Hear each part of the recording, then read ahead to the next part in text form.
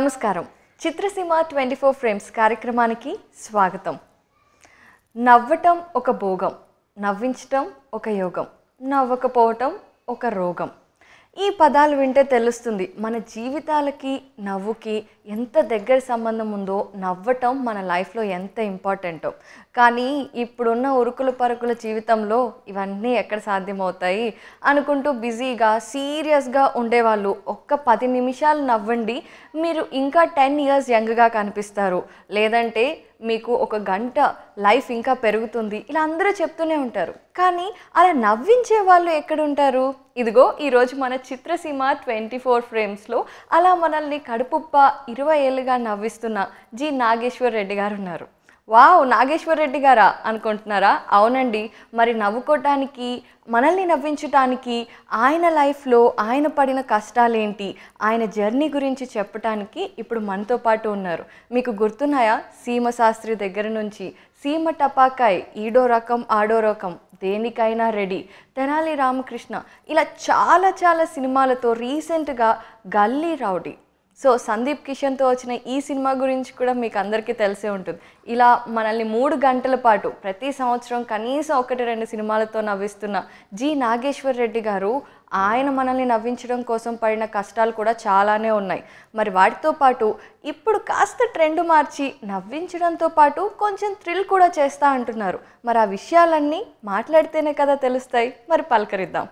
నమస్తే అండి. నమస్తే నాగేశ్వర్ రెడ్డి గారు ఎలా ఉన్నారు? ఫైన్ ఫైన్ మా చిత్రసీమకి welcome.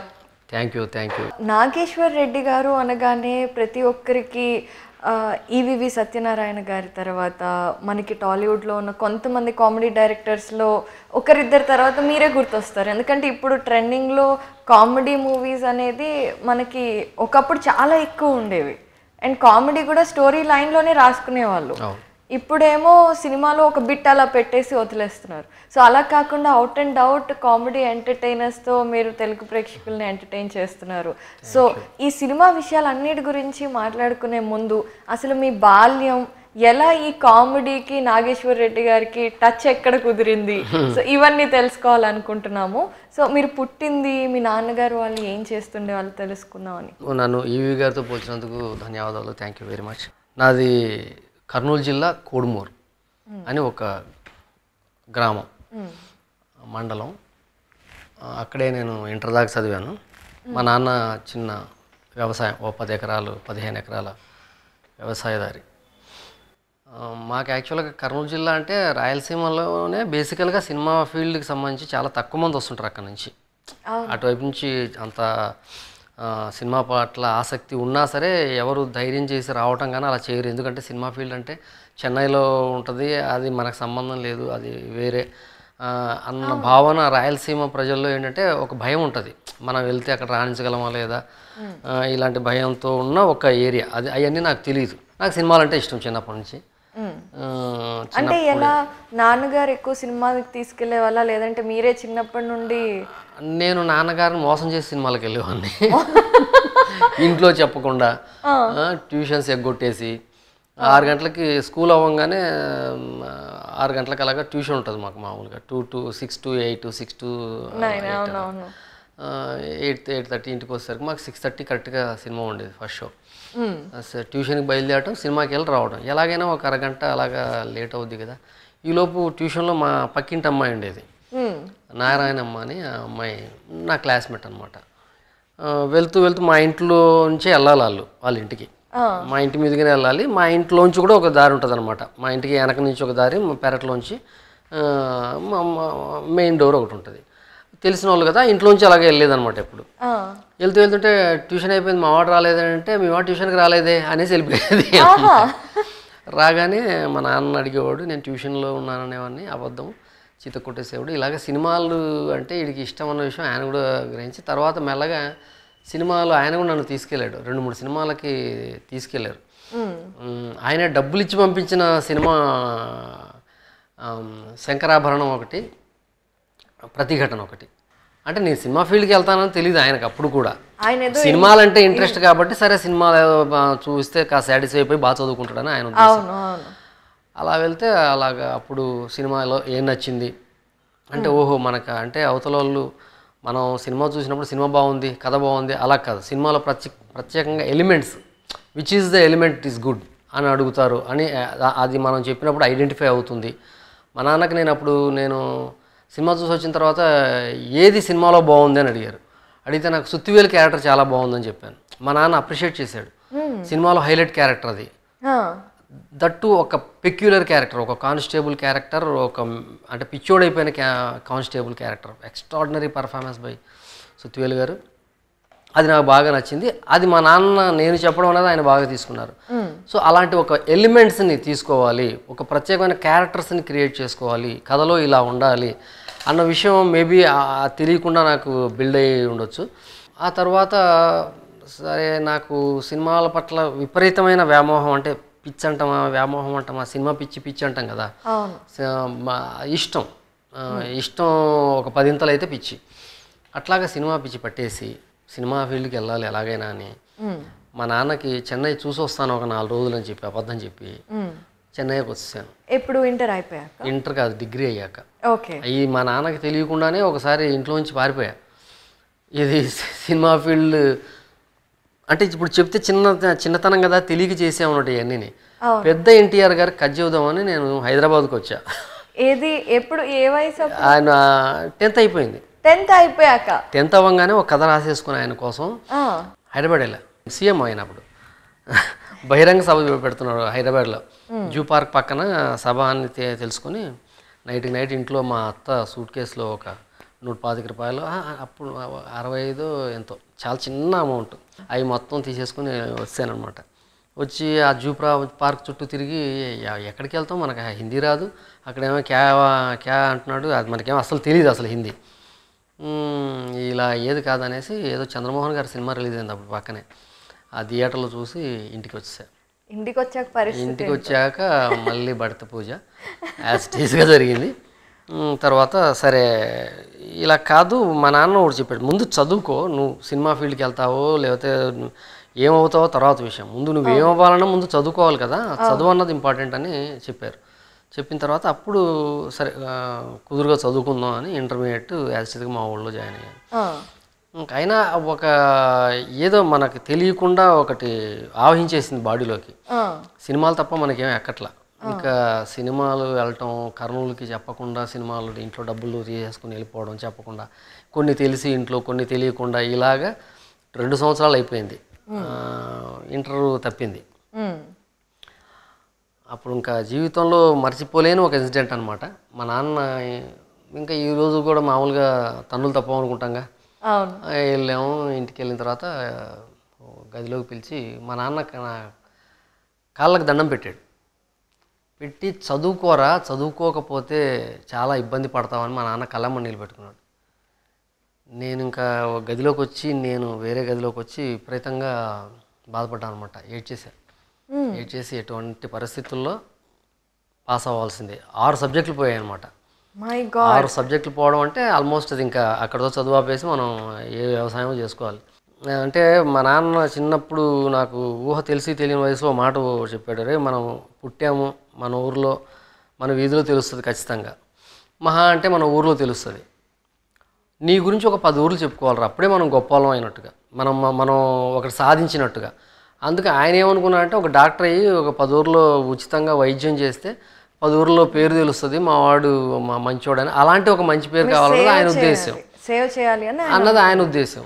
మన నాకేం కనెక్ట్ అయింది ఓహో ఈయనకి ఏం కావాలి ఒక పది ఊర్లో నా పేరు చెప్పుకోవాలి సాలిడ్గా ఇదే కదా అని సరే మనకేమో చదువు నేను good student average student bad student కాదు నేను. పాస్ అయిపోతాను నేను పాస్ పాస్ అయిపోతా నేను సెకండ్ క్లాస్ అలాగా పాస్ అయిపోతా. ఏదో ఒక ఉద్యోగం ఏదో సంపాదించుకుంటాం. కానీ ఆ, పది ఊర్లో మన పేరు ఎలా చెప్పుకుంటారు చెప్పుకోరు కదా. పరువు దానికేం పెద్ద ఉపయోగం లేదు. ఆయన అనుకున్నాడు డాక్టర్ అవ్వాలి. అదేమో మనకు కష్టంగా ఉంది. మనకు మన మనం అర్థం కదా. మన మన మనసుకు మనకు తెలిసిపోతుంది. మనం ఏం చేయగలం ఏం సాధించగలం అని. అది సో ఇలా కాదు. మనకి ఇష్టమైన దాంట్లో మనం సాధించగలం. అది ఏం ఇష్టం అంటే నాకు సినిమా ఇష్టం అని పడుకొని ఆలోచిస్తే ఎవరికైనా ఒకటి అర్థమైపోతుంది వచ్చింది. ఎవరికి ఏంటి ఇష్టం అన్నది వాడి మనసుకు తెలిసిపోద్ది కదా. అలాగే నేను ఆలోచించి దట్స్ ఇట్. మన సినిమా ఇష్టం సినిమాకే వెళ్దాం. అని అప్పుడు six subjects one time pass అయిపోయాను రెండు నెలల ఆ, మా గ్యాప్లో అక్టోబర్ కదా మళ్ళీ అక్టోబర్లో మొత్తం అన్ని సబ్జెక్ట్స్ పాస్ అయిపోయాం. నెక్స్ట్ తిరుపతి డిగ్రీకి అప్లై చేసాం ఈ తిరుపతికి తిరుపతిలో డిగ్రీ చదవాలనుకున్న దాంట్లో పెద్ద కుట్ర ఉంది. ఈ కుట్ర ఎవరికి తెలియదు చెన్నైకి దగ్గర కదా. సినిమా ఫీల్డ్ వాళ్ళంతా అక్కడ ఉంటారు. సినిమా ఫీల్డ్కి వెళ్ళి సాటర్డే సండేలు చెన్నైలో ఉందాం. ఆ, అక్కడ అందరినీ అడుగుదాం. సినిమా ఫీల్డ్కి వస్తానని. సో ఎవరో ఒకరు మనల్ని పెట్టుకోకపోతారా? ఈ దాసనారాయణరావు గారికి వంశీ గారికి రాఘవేంద్రరావు గారికి వీళ్ళందరికీ తెగ లెటర్లు రాసేవాడిని నేను. సో నేనేంటి అమ- అమాయకంగా అవన్నీ వాళ్ళు చూసుంటారు అవన్నీ వాళ్ళ దగ్గర ఉంటాయి. నేను వెళ్ళి ఇలా నాయశెడ్డి సార్ నేను మీకు చాలా ఉత్తరాలు రాశాను కానీ ఓ నువ్వు అంటానని అసలు మనకి తెలియదు అనమాట అనుకొని చెన్నైకి తిరుపతిలో డిగ్రీ అప్లై చేశా. తిరుపతిలో ఎస్వి ఆర్ట్స్లో సీట్ వచ్చింది. ఎస్ ఎస్వి ఆర్ట్స్లో మూడు సంవత్సరాలు. మూడు సంవత్సరాలు కాలేజీకి డుమ్మా. అంటే చాలా లీస్ట్గా వెళ్ళి ఉంటాం ఊరికే కాలేజ్ ఎలా ఉందని చూడడానికి వెళ్ళటం తప్ప కాలేజీ కోసం వెళ్ళింది లేదు చదువుకోవడానికి. యాజ్ యూజువల్గా తప్పుతాంగా తప్పాం. సరే ఇంట్లో చెప్పలేం కదా. ఇంట్లో మూడు సంవత్సరాలు అయిపోయింది ఇంటికి వచ్చాం సరే ఏంటంటే కాలేజ్లో ఉన్నప్పుడు వెళ్ళలేదా? చెన్నై వెళ్ళి ట్రయల్స్ ఏమి వేయలేదా? అంటే సైకలాజికల్గా భయపడ్డా. ఎందుకంటే చెన్నై అన్న తమిళ్ కదా. మనకు తమిళ్ రాదు. వెళ్ళి మనం ఎవరితో మాట్లాడతాం ఏం మాట్లాడతాం వాడు ఏం మాట్లాడితే మనకు అప్పుడు ఈ మూడు సంవత్సరాల్లోనే ముప్పై సంవత్సరాల్లో తమిళ్ అని ఒక బుక్ కొనుక్కొని అది చదివితే చదివితే ఎలా వస్తుంది? అది చదివితే వచ్చేది కాదు కదా భాష. ముప్పై రోజుల్లో తమిళ్. మన వల్ల కాల ఇది ఇట్లా కాదు ఎలాగ తెలియదు. మూడు సంవత్సరాలు అయిపోయింది ఎలా రాసావంటే బాగా రాశాను పాస్ అవుతాను పాస్ అయిపోతానని చెప్పేశాను. సరే చెన్నైలో మా చిన్నాన్నగారు ఉంటారు. అప్పుడు ఆనంద్ గోపాలకృష్ణ రెడ్డి రెడ్డి గారి దగ్గర ఆయన ప్రొడక్షన్ ఎగ్జిక్యూటివ్ అనమాట మా చిన్నాన్నగారి దగ్గరికి వెళ్ళి ఒక నాలుగు రోజులు ఆరు రోజులు ఉండి చెన్నై చూసి వస్తానని చెప్పి బయలుదేరా హాలిడేస్ కదా పరీక్షలు అయిపోయాయి పంపించారు. మ్మ్. పంపించగానే రిజల్ట్స్ వచ్చాయి. మొత్తం మూడు సంవత్సరాలు పోయాయి. మొత్తం అన్నీ పోయాయని తెలిసిన తర్వాత నేను రాను అని ఉత్తరం రాసి అప్పుడు ఇంకా ఉత్తరాలు ఉండేవి ఉత్తరం రాసి నేను ఇక్కడే ఉండిపోతాను నేను రావట్లేదు ఇక్కడ సినిమా ఫీల్డ్లో సెటిల్ అయిపోతాను అని రాశా అంటే మన చిన్నాన్న వీడికి ఇలా చెప్తే అర్థం కావట్లేదు. మా చిన్నాన్న గారి ఇంట్లో ఉన్నాను. పొద్దుట లేస్తూ ఫుడ్కి ప్రాబ్లం లేదు ఉండటానికి ప్రాబ్లం లేదు పడుకోవడానికి ప్రాబ్లం లేదు. అని ఇలా ఉంటే నీకు అర్థం కావట్లేదురా నువ్వు బయటికి వెళ్తే అర్థం అవుద్ది. బయటికి వెళ్ళి ట్రై చేయి. అన్నాడు. అప్పుడు సుధాకర్ రెడ్డి అని నా ఫ్రెండ్ మా పక్కింటి అబ్బాయి. నాకంటే చాలా ముందే అతను చెన్నైకి వెళ్ళిపోయాడు. స్రవంతి మూవీస్ రవికిషోర్ గారి ఆఫీస్లో ఆఫీస్ బాయ్ అతను అప్పుడు. ఇప్పుడు కెమెరామెన్ అయ్యాడు. ఆ అబ్బాయికి ఫోన్ చేసి వాళ్ళకి స్రవంతి మూవీస్లో ఆఫీస్ ఉండేది ఆ నెంబర్ నాకు ఇచ్చాడు. ఫోన్ చేస్తే ఆఫీస్కి రమ్మన్నాడు. ఆఫీస్కి వెళ్తే అప్పుడు ఒక రూమ్ ఏదో తనకు తెలిసిన వాళ్ళ రూమ్ ఉంటే ఆ రూమ్లో ఉండమని చెప్పాడు. ఉన్నాను. ఇంకా ఆ తర్వాత ప్రయత్నాలు మొదలెట్టాం అనమాట అప్పుడు శివకుమార్ రెడ్డి అని డైరెక్టర్ సాగర్ రెడ్డి గారు. ట్రై చేసి శివకుమార్ రెడ్డి గారు వెంటనే పెట్టుకున్నారు. ఫస్ట్ సినిమాకి అప్రెంటిస్. మ్మ్. అప్రెంటిస్కి అప్పుడు నాకు అప్రెంటిస్లు ఉంటారు అసిస్టెంట్ డైరెక్టర్ ఉంటారు ఏం తెలియదు ఒక కథ చేసి తీసుకెళ్ళంగానే కథ చెప్పంగానే హీరోకి వాళ్ళు యాక్ట్ చేసేస్తారు సినిమా అయిపోద్ది అనుకునేవాడిని. మన అసలు సినిమా గురించి మేకింగ్ గురించి కానీ ఏమీ తెలియదు అనమాట ఒక స్క్రిప్ట్ ఉంటుందని స్క్రిప్ట్ రాస్తారన్న విషయం కూడా తెలియదు నాకు. ఒక కథ చెప్తాం మనం కథ చెప్పంగానే సినిమా అయిపోద్ది అనుకునేవాడిని. ఎందుకంటే నాకు కథ తెలుసు కాబట్టి. నేను కథ రాసుకోగలను కాబట్టి నాకు తెలిసిన దాంతో సినిమా అయిపోద్దని వస్తేనే. వస్తే అప్పుడు శివకుమార్ రెడ్డి గారి దగ్గరికి వెళ్ళి ఆయన దగ్గర అప్రెంటిస్గా అప్పుడు నాకు పక్కన అసిస్టెంట్ డైరెక్టర్స్ వాళ్ళు ఇల్లు ఉంటారు కదా వాళ్ళు చెప్పేవాళ్ళు అక్షరాలు చాలా బాగుండాలి అందంగా ఉండాలి రైటింగ్ బాగుండాలి ఆ, అసిస్టెంట్ డైరెక్టర్లు రాయాలి ఇదంతా. అంటే నా రైటింగ్ ఏమో చాలా దరిద్రంగా ఉంటుంది అస్సలు బాగోదు. ఎలాగని అప్పుడు ఎలా మరి నా రైటింగ్ బాగోదు ఎలాగంటే అప్పుడు ఒక ఫ్రెండ్ ఒక సజెషన్ ఇచ్చాడు. గుండు సున్నాలు పెడితే బాగా అక్షరాలు అందంగా గుండ్రంగా రాయొచ్చు. అని చెప్పాడు. అప్పుడు ఒక బండిల్ పేపర్లు కొనుక్కొని గుండు సున్నాలు పెట్టడం మొదలెట్టా. రూమ్లో కూర్చొని రోజు గుండు సున్నాలు పెట్టేసేవాడిని. పెట్టి ఈ లోపు ఈ సినిమా అయిపోయింది. సినిమా రిలీజ్ అవ్వాలా అది. డబ్బులు ఏమన్నా ఇచ్చారా? అసిస్టెంట్ డైరెక్టర్గా ఫస్ట్ పెట్టుకున్నారు. పెట్టుకోగానే ఒక రూమ్ వేసారు వాళ్ళు డైరెక్టర్లకి ఇది ఈ శివకుమార్ రెడ్డి గారి సినిమాకి. శివకుమార్ రెడ్డి గారి సినిమా నెల్లూరులో జరిగింది. ఆ సినిమాకి అంటే డబ్బులు ఏమి ఇవ్వలేదు కానీ వాళ్ళ ఖర్చులు వాళ్ళ ఆఫీసు భోజనాలు అన్నీ అక్కడే జరిగిపోయాయి. వాళ్ళ ఆఫీస్లోనే ఉండేవాడిని చాలా చాలా రోజులు. బట్ రూమ్ ఉండేది కానీ వాళ్ళ ఆఫీస్లోనే భోజనాలని అయిపోయాయి. అది ఎక్కువ రోజులు జరగల షూటింగ్ వారం పది రోజులు జరిగి అయిపోయింది సినిమా. ఆ తర్వాత ఇంకా ఇలా కాదని సురేష్ గారి హీరో ఆ సినిమాలో. అయితే ఇప్పుడు మళ్ళీ వేట ఉద్యోగం లేదు కదా మళ్ళీ ఎవరో ఒకరు పెట్టుకోవాలి. నేను అసిస్టెంట్ ఎక్కడ? అది దాదాపు ఆరు నెలలు అయిపోయింది. అని అప్పుడు రాసుకున్నాం డైరెక్టర్ల పేర్లు ఎవరెవరి దగ్గరికి వెళ్ళాలి అని. ఒక ఒక పది మంది పేర్లు అప్పుడే ఈ చిత్రం బలారి విచిత్రం పెద్ద బ్లాక్ బస్టర్ సినిమా. పెద్ద హిట్ అయింది అప్పుడు. ఆయన పేరు కూడా రాసేసుకున్నా. రాసేసుకుని అందరు ఇల్లు అడ్రస్సులు తీసేసుకున్నా ఫిలిం డైరీ కొనుక్కొని. తీసుకుని వెళ్ళిపోయాయి అందరి దగ్గరికి. అప్పుడు నేను వాటి ఆలోచించా రాఘవేంద్రరావు గారు కోదానారెడ్డి గారు కోరనాష్ గారు ఇలా పెద్ద డైరెక్టర్స్ అందరూ నన్ను ఎందుకు పెట్టుకుంటారు? ఆల్రెడీ వాళ్ళ దగ్గర స్టార్ డైరెక్టర్స్ కదా. వాళ్ళ దగ్గర బ్యాచెస్ ఉంటాయి కదా. కాబట్టి ఎవరైతే ఇప్పుడు హిట్లు ఇచ్చి ఇప్పుడు అప్కమింగో వాళ్ళ దగ్గర వేకెన్సీ ఉండొచ్చు అని ఆ సాగర్ రెడ్డి గారు ఇలాగా ఇలా పేర్లు రాసుకొని వాళ్ళ దగ్గరికి వెళ్ళా. మీరు బాగా తెలివిగా ఆలోచించారు అయితే. అంటే మా భయం వల్ల బుద్ధి ఎక్కువ వాడతాం. ఇక్కడ ఉండాలి. ఎక్కువ టైం కూడా ఉండదు మనకు అక్కడ మనం ఓన్ సంవత్సరాల సంవత్సరాలు మనం వెయిట్ అంటే వెయిట్ చేయలేం కదా. మనకు డబ్బులు ఉండవు. అలాగని టైం అయిపోతుంటుంది. మనం ఒక ఐదు సంవత్సరాల తర్వాత మనల్ని అసిస్టెంట్గా తీసుకోరు. ఆ- టైం వచ్చేస్తుంది మనకి. అట్లా అలా తొందరగా అయిపోవాలి ఫాస్ట్గా ఉండాలి. మొత్తానికి సాగర్ రెడ్డి గారి దగ్గరికి వెళ్తే ఆయన మొత్తానికి ఏం చేసామంటే ఇలాగ అసిస్టెంట్గా చేశాను సార్. క్లాప్ ఇస్తావంటే "ఆ, క్లాప్ కొట్టేస్తాను సార్. Editing report రాస్తావా? "ఆ, రాసేస్తాను సార్. డ్రెస్ కంటిన్యూటీ ఏమీ రాదు నాకు. డ్రెస్ కంటిన్యూటీ తెలుసా అన్నాడు. రాసేస్తాను సార్ అన్నాను. ఏది ఒక పేపర్ పైన ఒక నాలుగు ముక్కలు రాయి అన్నాడు. నాలుగు లైన్లు బాగా రాసేవాడిని నేను అందంగా. ఆ తర్వాత ఇంకా ఎవడు రాదు ఏ పేషెన్స్ కాదు అది పోద్ది. ఎంత మనం చేయినా సరే ఎంత ఓపిగ్గా రాసినా సరే ఒక పేజీ రాయగలడు. అందంగా ట్రై చేసేవాడు. అందంగా రాసేవాడు అన్ని పేజీలు అందంగా రాస్తాడు. రైటింగ్ బాగాలేనప్పుడు రెండో పేజీ దొరికిపోతాడు. మనం ఆ అర పేజీ రాయంగానే "ఆ, బాగుంది రైటింగ్ బాగుంది పెట్టేశాడు. అన్నీ అన్నీ తెలుసు అంటే అన్నీ తెలుసు అనుకోండి ఆయన. కట్ చేస్తే పెట్టారు Public Rowdy. Bhanuchander hero. Wow.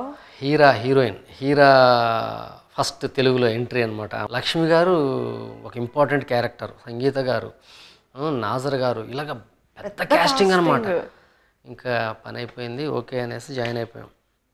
Join అయిపోయిన తర్వాత మన క్లాప్ కొట్టడం రాదు ఎయిటింగ్ రిపోర్ట్ అంటే అది ఓకే. సరే అది సింపుల్ థింగ్ అది. ఏ షాట్ ఓకే అన్నది రాసుకోవడం అన్నది. క్లాప్ కొట్టడం అంటే చాలా టెక్నిక్ ఇప్పుడు ఇప్పుడు అంటే డిజిటల్ వచ్చింది కాబట్టి క్లాప్ బాధ లేదు. ఇలా చూపించేస్తే డిజిటల్ మొత్తం రష్ వచ్చేస్తుంది. ఎయిటింగ్ రూమ్లో పెడితే మనం ఏ షాట్ కావాలంటే అది సౌండ్ సింక్లో ఉంటుంది. డిజిటల్ అంటే ఇప్పుడు కెమెరాకిను నాకు సింక్ అయిపోద్ది. మనం ఏం మాట్లాడుతున్నాం సింక్ అయిపోద్ది ఆర్టిస్ట్కి. నెగిటివ్ అలా కాదు. క్లాప్ సౌండే ఇంపార్టెంట్ అనమాట ఎడిటర్కి క్లాప్ కొడతాం కదా టక్ మనం వచ్చే సౌండ్ని ఎడిటర్ తీసుకుంటాడు. ఆ సౌండ్కి సౌండ్ ఫస్ట్ మార్క్ అది. ఫస్ట్ ఫ్రేమ్ అనమాట సౌండ్ ఎక్కడైతే క్లాప్ టక్ మన సౌండ్ వస్తుందో అది ఫస్ట్ ఫ్రేమ్. అలాగే మూవీలో క్లాప్ కొట్టుద్ది కదా అది ఫస్ట్ ఫ్రేమ్. అవి రెండింటిని పెడితే షార్ట్ సింక్ అయిపోద్ది. ఇది నెగిటివ్ పైన టెక్నాలజీ అనమాట అందుకు క్లాప్ చాలా కంపల్సరీ. క్లోజ్ షాట్ అంతే ఇంత షార్ట్ పెడతాడు అనుకో డైరెక్టర్. క్లాప్ ఎంత ఉంటుంది? ఇంత ఉంటుంది క్లాప్. ఇంతే షార్ట్ ఉంటుంది. బట్ ఇంత క్లాప్ ఉంటుంది. అప్పుడు ఎక్కడ వస్తుంది? రాదు. క్లాప్ ఇక్కడ ఉంటుంది కదా కొట్టే చెక్క ఆ చెక్క పైకి వెళ్ళిపోద్ది. అవును. సో ఎంత టెక్నిక్ ఉండాలంటే ఆ నెంబర్ రావాలి ఫస్ట్ ఫ్రేమ్లో సెకండ్ ఫ్రేమ్కి కొట్టడం రావాలి. ఇది కూడా ఒక ఎయిట్ నైన్ ఫ్రేమ్స్లో అయిపోవాలి.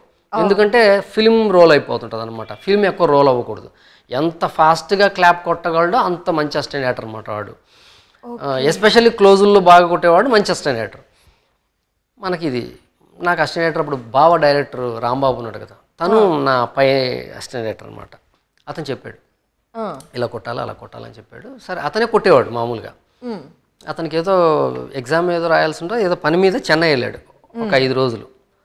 ఇప్పుడు నేనే క్లాప్ కొట్టాలి. మీకు పరీక్ష? పరీక్ష అసలు పరీక్ష కదా అది అగ్ని పరీక్ష అది. అబద్ధం చెప్పడం ఈజీ బట్ సెట్లోకి వచ్చిన తర్వాత మోసం చేయడం చాలా కష్టం కదా. క్లాప్ కొట్టాల్సిందే అని. ఇంకా సరే వైట్ షాట్లన్నీ కొట్టేస్తున్నాం. సాయంకాలానికి ఇట్లాగా ఒక గెస్ట్ హౌస్లో షూటింగ్. ఒక అమ్మాయి ఫోన్ చేస్తుంటుంది పోలీసులకి. Hello police station? ఇది డైలాగ్. ఆ అమ్మాయి క్లోజ్లో క్లాప్ కొట్టాలి. అయిపోయింది. అయిపోయింది. ఇప్పుడు కట్ చేస్తే పెట్టాము కొట్టాము. సౌండ్ రాలేదు. సౌండ్ రాకపోతే సౌండ్ రావాలి కంపల్సరీ. అవును రావాలి కదా. సౌండ్ రాకపోతే తీసాం అప్పుడు ఏంటంటే చాక్ పీసు క్లాత్ అన్ని చేతిలో ఉంటాయి. కరెక్ట్. అది క్లాత్ ఏదో పడింది ఆ మధ్యలో. సరే వన్ మోర్ అన్నారు. మళ్ళీ పెట్టాం. మళ్ళీ సౌండ్ రాలేదు. మళ్ళీ పెట్టామన్నాడు. మళ్ళీ పెట్టాను. మూడోసారి. నాకు బాగా గుర్తు. సౌండ్ రాలేదు. క్లాత్ పడుతుంటుందా? తీసే అన్నారు. క్లాత్ పక్కన పెట్టాను. కింద పట్టుకున్నా ఇప్పుడు క్లాత్. ఇలా పెట్టి కొడితే నా వేలు ఈ మధ్యలో స్కిన్ పడిపోయింది. ఆ టెన్షన్లోనో దేనికో. మళ్ళీ సౌండ్ రాలేదు. ఏమయ్యా? క్లాప్ కొట్టడం ఎయిటింగ్ రూమ్ అన్నీ వచ్చన్నావు. అందరి దొబ్బుతున్నావు కదా నన్ను. నీ మీద కాన్సన్ట్రేట్ చేసి నేను డైరెక్షన్ చేయలేకపోతున్నా. సాగర్ గారు కేకలేసాడు ఏంగానే సరే కేకలేసినా సరే ఏం చేయలేని పరిస్థితి. నేనే చేయాల్సింది. ఎందుకంటే అసినేటర్ లేడు. సరే మిగిలిన వాళ్ళందరూ కోడేటర్లు సీనియర్స్. సరే అప్పుడు ఎవరో మన కోడేటర్ గారు వచ్చారు. వచ్చి కొట్టేసరి అయిపోయింది. మరుసటి రోజు ఎప్పుడో రాంబాబు వచ్చాడు. బాధపడొద్దు. ఇవన్నీ మామూలే. సరే ఓకే. ఇంకా ఆ తర్వాత ఆ సినిమాకి అప్రెంటిస్గా జాయిన్ అయ్యాను నేను. సినిమా అయ్యే టైంకి ఎవ్వరు లేరు. ఎనిమిది నెలలు జరిగింది అది షూటింగ్. మా పది రోజులు ఐదు రోజులు పది రోజులు ఇలాగ ఎనిమిది నెలల్లో సినిమా ఫినిష్ చేశాం ఎవ్వరు లేరు. కో డైరెక్టర్స్ లేరు అసిస్టెంట్ డైరెక్టర్ లేరు అసోసియేట్ లేరు ఎవరు లేరు. నేను ఒక్కనే మిగిలాను అనమాట అప్పుడు మొత్తం ఎడిటింగ్ రూమ్. గౌతమ్ రాజు గారు ఎడిటర్ గౌతమ్ రాజు గారు ఎడిటర్ అయితే ఎయిటీన్ రూమ్కి నేనే లేవని ఎవరు లేరు కదా నేనే లేవని. ఆయన అలాగా స్కూల్స్ చుడుతూ చుడుతూ పలానా సీన్ ఎక్కడ భాను మా- భానుచంద్ర గారు లక్ష్మి గారు ఇంటికి వచ్చే సీన్ ఎక్కడ అంటే సార్ అది ఒక ఎయిట్ హండ్రెడ్ ఫీట్లో ఉంటుంది సార్ ఆ సీను అనగానే చుట్టేసేవాడు. కరెక్ట్గా ఎయిట్ హండ్రెడ్ ఫీట్లో ఆ సీన్ ఉండేది. ఓ అంటే ఎలా అయిపోయానంటే ఇంకా నేను చెప్పింది సీన్స్ పేపర్లు కానీ క్లాప్ రిపోర్ట్ కానీ ఎయిటీన్ రిపోర్ట్ ఎన్నో టేక్ ఓకే అయింది కానీ అలా బ్రెయిన్లో ప్రింట్ చేసుకునేవాను అనమాట అంత ప్రిపేర్ అయిపోయాను. సో ఆయన ఏమైనా నువ్వు కోడైటర్ సినిమాకి నువ్వేనా అన్నాడు. "ఆ, కాదు సార్ నేను అప్రెంటిస్. ఆయన ఆశ్చర్యపోయారు. అప్రెంటిసా నువ్వు? ఆ సినిమా జరిగినన్ని రోజులు ఎంత అదృష్టం అంటే ఒక్కోసారి మనకు టైం కలిసి రావడం అంటే క్లాప్ కొట్టడం దగ్గర నుంచి రీ రికార్డింగ్ ఫస్ట్ కాపీ వచ్చేంత వరకు ఏ టు జెడ్ నేను చూసుకోవాల్సి వచ్చింది పబ్లిక్ రౌడ్కి సో దానివల్ల నాకు పోస్ట్ ప్రొడక్షన్ వర్క్ పైన ఒక మంచి అంటే అవగాహన అంటే ఇది ఇది ఎడిటింగ్ ఇది డబ్బింగ్ ఇది రీ రికార్డింగ్ ఇది మిక్సింగ్ ఇది ఎఫెక్ట్స్. టోటల్గా ఒక ట్వంటీ ఫోర్ క్రాఫ్ట్స్ పైన అసలు ఎంత ఎలా వర్క్ జరుగుద్ది అన్న దానిపైన ఫుల్ క్లారిటీ వచ్చిందనమాట చిత్రసీమ ట్వంటీ ఫోర్ ఫ్రేమ్స్లో ఈరోజు మనతో ఉన్న versatile director G Nageshwar Reddy గారి గురించి మరిన్ని విషయాలు తెలుసుకునే ముందు ఒక చిన్న విరామం. ఎప్పుడైనా ఒక హిట్ వచ్చిన తర్వాత అప్పుడైనా మనకు అనిపిస్తుంది కదా యాజ్ అ డైరెక్టర్ ఒక ఎక్స్పెరిమెంట్ చేద్దాం ఎందుకు కామెడీయే ఒక మంచి ఫ్యామిలీ ఎంటర్టైనర్ యాక్షన్ మూవీ మీకు బాగా ఇష్టం కదా అది ఎందుకు ఎప్పుడు ట్రై చేయలేదు? నాకు బ్రాండ్ వచ్చింది కదా కామెడీ పాటలు బాగా తీస్తాడని బ్రా బ్రాండ్ వచ్చింది. సో దీన్ని డిస్టర్బ్ చేసుకుని ఇప్పుడు అర్జెంటుగా నేను యాక్షన్ సినిమా చేసేసి ఒకవేళ అది మిస్ఫైర్ అయితే అప్పుడు నేను మళ్ళీ ఇబ్బందిలో పడతాను కదా. మేబీ భయం వల్ల కావచ్చు. సో మరి ఆ తర్వాత మీరు చాలా సినిమాలకి వర్క్ చేశారు. ఎస్వి కృష్ణారెడ్డి గారికి చాలా సినిమాలకి మీరు అసిస్టెంట్ డైరెక్టర్గా వర్క్ చేశారు. సో ఇప్పుడు సినిమా అంటే రకరకాల స్టోరీస్ ఉంటాయి రకరకాల జోనర్స్ ఉంటాయి. చాలామంది డైరెక్టర్లు ఎప్పుడైనా సరే అప్పుడు కానీ మీరు వర్క్ చేసినప్పటి నుంచి కూడా పెద్ద స్టార్ కాస్ట్ అనేది మనకి ఒక ఫ్యామిలీ డ్రామానో లేదంటే ఇంకేదైనా ఇంకేదన్నో అయితేనే అవుతుంది. సో మరి అలాంటప్పుడు ఏ డైరెక్టర్ అయినా నేను పెద్ద మీరు కూడా చెప్పారు నేను పెద్ద ఎన్టీఆర్ గారితో సినిమా చేయాలని కథ రాసుకున్నాను. మరి కామెడీ అంటే మనకి comedy star cast is totally different. వాళ్ళకి వాళ్ళే స్టార్స్ అయినా కూడా మెయిన్ స్ట్రీమ్లో మనం డిఫరెంట్ లెవెల్లో చూస్తాం కదా. సో మీరెందుకు మరి కామెడీనే తీసుకున్నారు? నా నాకు తెలియకుండా నా బ్రెయిన్లో కూడా అదే ఉంది. నేను ఇండస్ట్రీకి వచ్చిన తర్వాత మూడు సంవత్సరాలు మా ఇంటికి వెళ్ళలేదు. బికాస్ నేను ఒక సినిమా చేశాను అంటే ఈ సినిమా మా ఊర్లో అందరికీ తెలియాలి. ఏంటి ఈ సినిమాకి పనిచేసావా? అని షాక్ అవ్వాలి. అంత పెద్ద సినిమాకి చేస్తేనే వెళ్తా. అని మూడు సంవత్సరాలు పబ్లిక్ రౌడ్ అయిపోయింది. సార్ అది మంచి సినిమాయే బట్ నాకు సౌండ్ మా ఊర్లో సౌండ్ అంటే విలేజ్ కదా. విలేజ్లో తెలియాలంటే స్టార్స్ అవ్వాలి అప్పుడు. సాగర్ గారి దగ్గర పనిచేసేటప్పుడు అక్కడ రమేష్ యాదవ్ గారు కో డైరెక్టర్ ఆయన చూసి నన్ను రామ్ గోపాల్ రెడ్డి గారికి పరిచయం చేశారు. ఆయన కృష్ణారెడ్డి గారి దగ్గర ఎడిటర్. చేస్తే ఆయన చూసి తీసుకున్నారు. పెట్టుకున్న తర్వాత ఆయన చేసింది రాజేంద్రుడు గజేంద్రుడు. ఆ తర్వాత మాయలోడు చేసాం అది సూపర్ డూపర్ హిట్ ఇది సిల్వర్ జూబ్లీ మాయలోడు. అయినా సరే నేను మా ఊరు వెళ్ళా అప్పుడు నెంబర్ వన్ అని సినిమా తీశారు మా డైరెక్టర్ గారు. కృష్ణ గారు. నేను కృష్ణ గారు ఫ్యాన్. సో కృష్ణ గారు సూపర్ స్టార్. ఆ, సినిమా అయిన తర్వాత సినిమా రిలీజ్ అయ్యి సూపర్ డూపర్ హిట్. అప్పుడు మా ఊరిలో నేను. వెళ్తే మా ఊరంతా రీసౌండ్ అనమాట అంటే ఒక కృష్ణ గారి ఫ్యాను సినిమా పిచ్చితో చెన్నై వెళ్ళి అసిస్టెంట్ డైరెక్టర్గా ఆయనతోనే పనిచేసి ఆయన సినిమాలో యాక్ట్ చేసి ఆయన సినిమా నా పేరు పడుద్ది అనమాట చేశారా మీరు? చిన్న ఒక షార్ట్ చేసా కృష్ణ చిన్నప్పుడు కృష్ణ గారితో సైక్లింగ్ ఒకటి చేశా. సో అది అంటే ఊళ్ళల్లో అది చాలా గొప్ప విషయం వాళ్ళకి. వాళ్ళు అసలు విపరీతం ఎక్కడ కనిపించినా సరే రే నువ్వు సాధించేసేవారు నువ్వు సాధించేసేవారు? గ్రేట్ థింగ్ అనమాట అప్పుడు యాక్చువల్లీ డిగ్రీ మూడు సంవత్సరాలు అన్ని ఎగ్జామ్లు ఫెయిల్ అయిపోయి నేను రాను అని మీరు లెటర్ రాశారు. తర్వాత డైరెక్ట్గా వెళ్ళి మీ నాన్నని కలిసింది ఈ సినిమా తర్వాత. సో అప్పుడు మీ నాన్నగారి రియాక్షన్ కాదు ఒక్కసారి వెళ్ళి అంతే. డిగ్రీ తర్వాత ఒకసారి వెళ్ళి చెన్నై వస్తానని చెప్పి వచ్చి ఇంకెళ్ళలేదు. అవును. మా నాన్నగారు వచ్చారు. నన్ను తీసుకెళ్ళిపోదామని. ఆ, వస్తే నేను రానని చెప్పా ఒక ఐదు సంవత్సరాలు నాకు టైం ఇవ్వండి నేనేం చేయలేకపోతే నేను వచ్చి వ్యవసాయం చేస్తానని చెప్పి. ఆయన వెళ్ళిపోయారు. ఐదు సంవత్సరాల తర్వాత నేను అస్సెట్ డైరెక్టర్ని అయిపోయాను. సో ఆయన ఓకే. ఇంకా అంత బాగానే నడుస్తుంది. వీడు సాధించాడు వీడు సాధించాడని కాదు కానీ ఓకే అట్లీస్ట్ ఎస్వి కృష్ణారెడ్డి గారు అంటే మామూలుగా లేదు అప్పుడు అసలు. చాలా పెద్ద డైరెక్టర్ కదా. సో ఆయన దగ్గర అసోసియేట్ డైరెక్టర్ అంటే ఇట్స్ ఇనఫ్ ఓకే నేను మా నాన్నకి డబ్బులు పంపించే పరిస్థితికి వచ్చాను. ఐదు వేలు కావాలి పదివేలు కావాలి పాతిక వేలు కావాలంటే "ఆ, సరే తీసుకోండి అని. సో వాళ్ళు సాటిస్ఫై అయిపోయారు. కామెడీ అనే దానికి బీజం ఎప్పుడు కృష్ణారెడ్డి గారే కారణం దానికి. నేను యాక్చువల్గా రాసుకున్న కథలన్నీ చాలా యాక్షన్ ఓరియంటెడ్ కథలు రాసుకుని వచ్చాను నేను. కృష్ణారెడ్డి గారి దగ్గర పనిచేయటం థౌజండ్ పర్సెంట్. ఆయన దగ్గర పనిచేయటం వల్లే నా మైండ్ సెట్ మొత్తం మారిపోయింది. అంటే మనిషిని నవ్వించడం ఎంత పేపర్ పైన మనం ఒకటి అనుకొని కృష్ణారెడ్డి గారి దగ్గర ఆయన కెమెరా లైట్లు యాంగిల్స్ ట్రాలీలు వీటిపైన ఎక్కువ కాన్సన్ట్రేట్ చేయరు. స్క్రిప్ట్ పైన ఎక్కువ కాన్సన్ట్రేట్ చేస్తారు. స్క్రిప్ట్లో నవ్వామంటే ఆ నవ్వు మన వాళ్ళ ఆర్టిస్టులు చేసేటప్పుడు వస్తుందా లేదా? ఈ రెండే చూసుకుంటాడు ఆయన. ఇది నాకు బాగా కనెక్ట్ అయిన విషయం. ఇప్పుడు కూడా నేను చేసే ఫస్ట్ థింగ్. స్క్రిప్ట్ బాగుందా లేదా?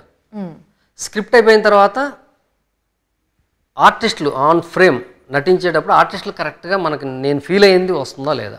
ఇంతే ఆలోచిస్తా. మిగిలింది నేను ఇక్కడ డైరెక్టర్నని ఇక్కడ పెద్ద హడావుడి జరుగుతుందని ఇది అంతా నా వల్లే జరుగుతుందని ఈ ఫీలింగ్ నాకు ఎప్పుడూ ఉండదు ఫ్యూచర్లో కూడా ఉండదు. కారణం కృష్ణారెడ్డి గారి దగ్గర పనిచేయటం వల్ల. అంత ఈజీగా ఆయన ఎంటర్టైన్మెంట్ చేయటం అంత పెద్ద హిట్లు అవ్వటం నా పైన ఇన్ఫ్లుయెన్స్ పడింది కృష్ణారెడ్డి గారి.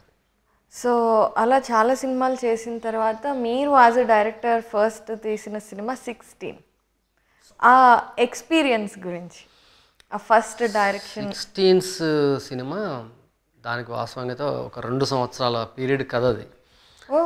టూ ఇయర్స్ కష్టపడ్డాను. అంటే నేను నేను కథలు విపరీతంగా ఆలోచిస్తుంటాను నేను. పడుకున్నా లేచిన కథలు ఒక్కటే ఆలోచిస్తాను నేను. ఒక మంచి పదిహేను నిమిషాల కథ దొరికిందంటే అది బాగుందంటే దానిపైన కథ చేయొచ్చు అన్నది నా ఎక్కువ కథలే ఆలోచించేవాడిని. కృష్ణారెడ్డి గారి దగ్గర చేశాను కాబట్టి నాకు ఈ కృష్ణ గారు శ్రీకాంత్ గారు రాజశేఖర్ గారు జగద్బాబు గారు వీళ్ళంతా కొంచెం చనువు ఏర్పడుద్దిగా హస్సైట్గా చేసేటప్పుడు. సరే శ్రీకాంత్ గారు చేస్తారు జగదావ్ గారు చేస్తారు రాజశేఖర్ గారు చేస్తారు. అసలు రాజశేఖర్ గారు సెట్లో నువ్వు చాలా పెద్ద డైరెక్టర్ అవుతాయా అని దీర్ఘ సుమంగళి బాలో అన్నారు. షూటింగ్లో. సో ఇవన్నీ మనకు వచ్చేస్తాయిగా ఇంకా మనం వెళ్ళిపోవచ్చు మనకి కత్తి డాలు అన్నీ వచ్చేసాయి మనం యుద్ధం చేసేయచ్చు అని యుద్ధ రంగంలోకి దిగిపోయాం. But it's not easy. అంత ఈజీ కాదు. డైరెక్షను సినిమా ఒప్పించి నిర్మాతని మూడు నాలుగు కోట్లు పెట్టించి సినిమా తీయించడం అన్నది not say not simple thing అనమాట అది దిగిన తర్వాత తెలిసింది నాకు. చాలా టఫ్ అయిపోయింది సినిమా చేయడం. ఎందుకంటే అప్పుడు వాళ్ళకు కూడా పరిస్థితి వెంటనే ఈయనకి ఇచ్చేసి కొత్త డైరెక్టర్కి కమాండ్ చేయించండి అని చెప్పే పరిస్థితి. శ్రీకాంత్ గారికి కానీ జగద్బాబు గారికి మన తెలుగు అంతే ఎవరికి హీరోలు వెంటనే అలాగ లేదు. ఒక హిట్లు ఇచ్చిన తర్వాత ఆయన కృష్ణారెడ్డి గారి దగ్గర ఈవి గారితో అందరూ వాళ్ళు బాగా స్టార్ డైరెక్టర్స్ కాదు ఎక్కడికి వెళ్ళినా పని అవ్వట్ల. సో ఎలాగా అని ఆలోచించి అప్పుడు తేజ గారు చిత్రం అని ఒక సినిమా అనౌన్స్ చేశారు. అవును. సిక్స్టీ ల్యాక్స్లో సినిమా తీస్తాను నేను. అందరికీ వెయ్యి నూట పదహారులు జీతం. ఆర్టిస్ట్ అయినా టెక్నీషియన్ అయినా సరే. ఇలాగ రామోజీ ఫిల్మ్ సిట్లో మొత్తం సినిమా ప్యాకేజ్ ఇలాగా ఉషాకిరణ్లో జరుగుతుంది. అది నన్ను హుక్ చేసింది. ఎస్ ఇది చాలా మంచి ఐడియా ఇది. నేను బడ్జెట్లో తీస్తాను. ఇంక అయిపోయింది నా నాకు ఎవరు స్టార్ హీరోలు అక్కర్లేదు ఎవరు అక్కర్లా. స్టార్ స్క్రిప్ట్ కావాలి. కరెక్ట్ స్క్రిప్ట్కి బడ్జెట్కి సంబంధం లేదు. స్క్రిప్ట్ బ్రెయిన్ ఉంటే చాలు. మన ఆలోచన కరెక్ట్గా ఉంటే స్క్రిప్ట్ రాస్తాం. దీనికి బడ్జెట్ అక్కర్లేదు కదా? సో ఫెంటాస్టిక్ స్క్రిప్ట్ కావాలి నాకు. ఉమ్, సో నేను ముప్పై లక్షల్లోనే సినిమా తీస్తాను. దీనికి ఒక స్క్రిప్ట్ కావాలి. ఎందుకంటే తేజకి రామోజీరావు గారు ఉన్నారు కాబట్టి ఆయన స్టూడియో ఉంది. సో ఆయన ఒక అరవై లక్షలు రాసుకున్నా మనకు ఎవరు లేరు కాబట్టి మనం ఒక ముప్పై లక్షల్లో సినిమా తీయాలి. ఎలా తీయాలన్న దానికి స్క్రిప్ట్ కావాలి. అలాగా రాజా హిందుస్థానీ అనే సినిమాకి వెళ్ళాను నేను. హైదరాబాద్లో వస్తుంది థియేటర్ ఏదో గుర్తులేదు నాకు. రాజా హిందుస్థాన్కి వెళ్ళి సినిమా చూసి చాలా బాగుంటుంది మంచి సినిమా. అమీర్ ఖాన్. బిగ్ బ్లా మ్యూజికల్ బ్లాక్ బస్టర్ అనమాట అది దాని గురించి ఆలోచించి దీన్ని ఎలా కథ చేయాలి? నాకు అందులో అప్పుడు బాగా నచ్చిన విషయం ఏంటంటే కొత్త ఎలిమెంట్. అమెరికా నుంచి హీరోయిన్ వస్తుంది ఆ సినిమాలో. అప్పుడే కొత్తగా మొదలన్నమాట మనకి అమెరికా స్విట్జర్లాండ్ ఈ సౌండ్ లేవు అప్పుడు ఇంకా. అమెరికా అంటే కథల్లో. మనకి కళ్ళు మూసుకుంటే స్విట్జర్లాండ్లో పాటలు అయి ఉన్నాయి కానీ హీరోయిన్ అక్కడి నుంచి రావటం కథలో ఒక భాగం అవటం ఇలాంటి కథలు అది చూసిన తర్వాత అరే ఇది బాగుంది అది నచ్చింది నాకు. అమెరికా నుంచి ఒక అమ్మాయి ఇండియాకి వస్తే ఒక ఆటో డ్రైవర్ ట్యాక్సీ డ్రైవర్ ప్రేమిస్తాడు ఆ సినిమాలో. సో ఇది బాగుంది. అమెరికా నుంచి ఒక అమ్మాయి వచ్చింది. ఆ అమ్మాయి కోసం ఒక ఐదుగురు అబ్బాయిలు ఆ పక్కింటి అపార్ట్మెంట్లో ఉన్న వాళ్ళు ట్రై చేశారు. ఇప్పుడు ఎలా ఉంటుంది? ఈ అని ఒక కథ రాసి ఆ కథని అంటే రకరకాలుగా ట్రావెల్ అయింది. అది బోల్డ్ అంత హిస్టరీ ఉంది దానికి మళ్ళీని. అప్పుడు అచ్యుత్ రెడ్డి గారికి చెప్పాను అన్నీ అయిన తర్వాత అచ్యుత్ రెడ్డి గారి దగ్గరికి వచ్చింది మొత్తానికి. అచ్యుత్ రెడ్డి గారు అచ్యుత్ రెడ్డి గారికి చెప్తే వెంటనే వెంటనే ఆయన నేను అప్పుడు టూ అండ్ హాఫ్ అవర్స్ కథ చెప్పేసేవాడిని ఓకే. సినిమా స్టార్ట్ చేస్తే మొత్తం అప్ టు ఎండ్ కథ చెప్పేసేవాడిని డైలాగులతో సహా ఏ సీన్లో ఏం మాట్లాడుకుంటున్నారో కూడా చెప్పేసాను చెప్పగానే మొత్తం సినిమా చూసా చూపించావా? ఓకే నాకు నచ్చింది. రేపు మళ్ళీ మా పిల్లలు ఒకసారి చెప్పాలన్నాడు. వాళ్ళ పిల్లలు వచ్చారు వాళ్ళకి చెప్పేసా. రేపు మా బంధువులు ఒకసారి చెప్పాలన్నాడు. వాళ్ళ బంధువులు బంధువులు వచ్చారు చెప్పేసా. ఆ, మా ఫ్రెండ్ వస్తున్నాడు చెప్పేసా. అందరికి అందరికి ఓకే సినిమాగా జరగట్లా. ఇంకా ఒక రెండు నెలలు మూడు నెలలు అయిన తర్వాత ఏంటిది టైం వేస్ట్ అయిపోతుంది సార్ మీరు చేస్తారా లేదని నేను బయట చేసుకోవాలంటే? లేదు లేదు ఉండనేసి ఒక జక్కుల శ్రీనివాసరెడ్డి గారని ఈయన ఫ్రెండ్ ఆయన. ఆయన్ని పిలిపించారు. పిలిపించి ఆయనకి చెప్పు కథ అంటే ఆయనకి చెప్పాను ఆయన కథ చెప్పడం ఇలా చెప్పడం అలాగ డబ్బులు ఇవ్వటం వెంటనే. ఒక ఆయన ప్రొడ్యూసర్ ఆయన ప్రొడ్యూసర్ నేను ఈ సినిమా చేస్తున్నాను ఇదిగో ఐదు వేల రూపాయలు. ఐదు వేలు ఇచ్చి ఈరోజు బాంబే వెళ్ళిపో. వచ్చే గురువారం అంటే ఒక ఐదు రోజుల్లో షూటింగ్. ఎందుకంటే అప్పుడు అచ్యుత్ రెడ్డి గారు ఉండగా మేము రోహిత్ని ఐదుగురు కుర్రాలని అందరినీ సెలెక్ట్ చేసాం అనమాట ఓకే ఆ హోంవర్క్ అంతా జరిగిపోయింది. అయిపోయింది. సినిమా జరగాలి అంతే షూటింగ్ వెంటనే ఐదు రోజుల్లో నువ్వు హీరోయిన్ సెలెక్ట్ చేస్తే ఆరో రోజు షూటింగ్ అన్నాడు. వెంటనే డబ్బులు తీసుకుని బాంబే వెళ్ళిపోయాయి బాంబే వెళ్ళిపోయి అక్కడ సుష్మా కౌల్ మోడల్ కోఆర్డినేటర్ ఇప్పుడు ఉంటారు ఆవిడ పిలిపించారనమాట చాలామందిని పిలిపించారు. అందులో నాకు రుతిక నచ్చింది. ప్రొడ్యూసర్ రావడం చూడటం అమ్మాయిని ఓకే చేయడం హైదరాబాద్ రావడం అన్నపూర్ణ స్టూడియోలో షూటింగ్ క్లాప్. సిక్స్టీన్స్ అయిపోయింది. తర్వాత కూడా మీరు చాలా మంచి మంచి సినిమాలు చేశారు. గర్ల్ ఫ్రెండ్ గర్ల్ ఫ్రెండ్ కూడా ఒక పెద్ద హిట్ మూవీ. అయితే ఈ ప్రాసెస్లో ఎప్పుడైనా ఒక హిట్ వచ్చిన తర్వాత అప్పుడైనా మనకు అనిపిస్తుంది కదా యాజ్ ఎ డైరెక్టర్ ఒక ఎక్స్పెరిమెంట్ చేద్దాం ఎందుకు కామెడీయే ఒక మంచి ఫ్యామిలీ ఎంటర్టైనర్ యాక్షన్ మూవీ మీకు బాగా ఇష్టం కదా. అది ఎందుకు ఎప్పుడు ట్రై చేయలేదు? అంటే మీరు కామెడీ సినిమాల్లో యాక్షన్స్ పెట్టారు. అంటే నాకు ఏమైపోయిందంటే నేను కొంచెం జాగ్రత్తగా ఉండటం వల్ల దేనివల్ల తెలియదు. నాకు బ్రాండ్ వచ్చింది కదా కామెడీ పాటలు బాగా తీస్తాడని బ్రా బ్రాండ్ వచ్చింది. సో దీన్ని డిస్టర్బ్ చేసుకుని ఇప్పుడు అర్జెంటుగా నేను యాక్షన్ సినిమా చేసేసి ఒకవేళ అది మిస్ఫైర్ అయితే అప్పుడు నేను మళ్ళీ ఇబ్బందిలో పడతాను కదా. మేబీ భయం వల్ల కావచ్చు.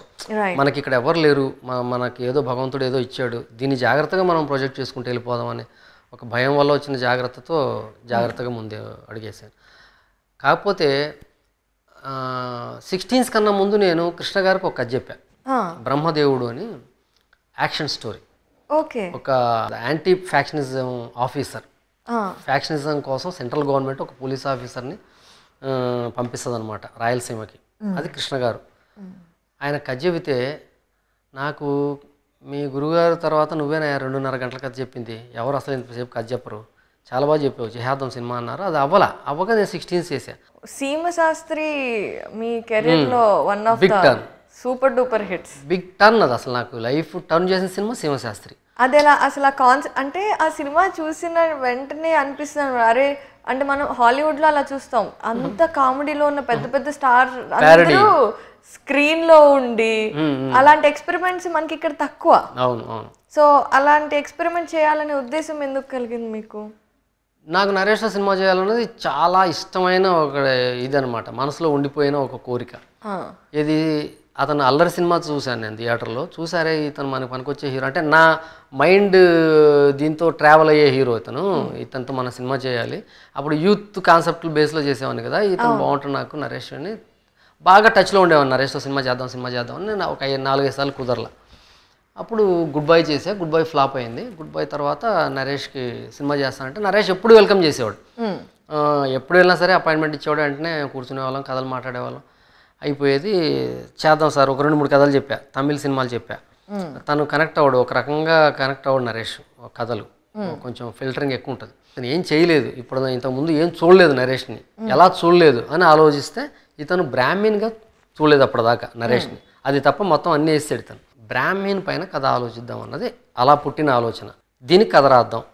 అని మొదలైంది శివశాస్త్రి అందులో ఉన్న స్టార్ కాస్ట్ అంటే కామెడీలో ఉన్న పెద్ద పెద్ద వాళ్ళందరూ అందులో చేశారు and that's that's wonderful parody ప్రతి ఒక్కళ్ళు కూడా ఎంజాయ్ చేశారు. సో ఆ ప్యారడీ సీన్స్ అవన్నీ మామూలుగా అవి నేను ఈవి సత్యనారాయణ గారు నాకు ఒకవేళ నాకు బాగా ఇష్టమైన డైరెక్టర్ ఈవి సత్యనారాయణ గారు. నేను కృష్ణారెడ్డి గారి దగ్గర పనిచేసేవాడిని బట్ ఈవి గారి సినిమాలు నాకు చే- నేను బాగా ఫాలో అయ్యేవాడిని ఎందుకంటే ఆయన కామెడీ ప్రజెంటేషను మా డైరెక్టర్ గారు అయినా ఆయన అయినా కాస్టింగ్ పైన ఉంటుంది.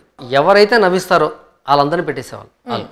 అది నాకు నచ్చింది. నేను అందుకే నా సినిమాలో కూడా చూడండి చిన్న వేషానికైనా ఒక స్టార్ ఇమేజ్ ఉన్న కమెడియన్ కానీ ఆర్టిస్ట్ని కానీ తీసుకుంటా. అది కృష్ణారెడ్డి గారి ద్వారా ఈవి గారి ద్వారా నాకు తెలియకుండా నా బాడీలోకి వచ్చిన ఒక విషయం ఇప్పటి వరకు కొన్ని సినిమాల విశేషాలు మాత్రమే తెలుసుకున్నాం. నాగేశ్వర్ రెడ్డి గారిని అడిగి మిగతా సినిమా విశేషాల గురించి తెలుసుకునే ముందు మన చిత్రసీమ ట్వంటీ ఫోర్ ఫ్రేమ్స్లో మరో చిన్న విరామం.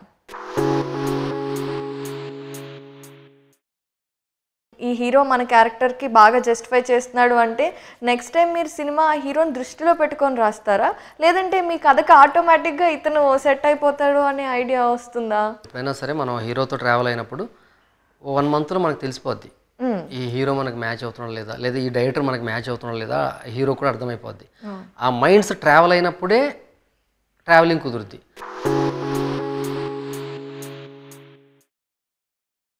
సెకండ్ సీమ టపాకాయ్. సీమ శాస్త్రి హిట్ అయిన తర్వాత ఎక్స్పెక్టేషన్స్ పెరిగిపోయిన తర్వాత మీరు అనౌన్స్ చేసిన movie so combination same combination అంటే మన వాళ్ళకి చాలా ఎక్స్పెక్టేషన్స్ ఎక్కువైపోయాయి. సో అప్పుడు ప్రెషరైజ్ అయ్యారా? సో యాజ్ అ డైరెక్టర్ బరువు అంతా మీ మీదే ఉంటుంది కదా? సీమ టపాకాయ్ సీమ శాస్త్రి కన్నా బరువు ఎక్కువ ఉంటుంది నా నరేష్ సినిమాల్లో ఒక నాకు నచ్చిన సినిమాల్లో నా నా సినిమాల్లో కూడా నాకు నచ్చిన సినిమాల్లో ఒకటి రెండు చెప్పమంటే ఒకటి సీమ టపాకాయ అవుద్ది అంత ఇష్టం నాకు ఆ కథ. నాకు మేము పేద పిల్లలకి కోటీశ్వర్లందరూ చదివి ఫ్రీగా చెప్పిస్తే బాగుంటుంది అన్నది హీరో హీరోయిన్ క్యారెక్టరేషన్. మేము అల్లరి నరేష్ సినిమా చెప్తున్నాం కాబట్టి ఫుల్ కామెడీ చేసాం అనమాట అమ్మాయిని చూసి కోటీశ్వర్లు అందరూ భయపడిపోతుంటారు ఇదేంటారు బాబు ఇప్పుడు వచ్చింది? ఇది మా డబ్బులన్నీ నేను పేద పిల్లలకి స- ప- పంచేయమంటది ఏంటి అని. సో అదే శ్రీ శ్రీమంతులు చెప్పారు.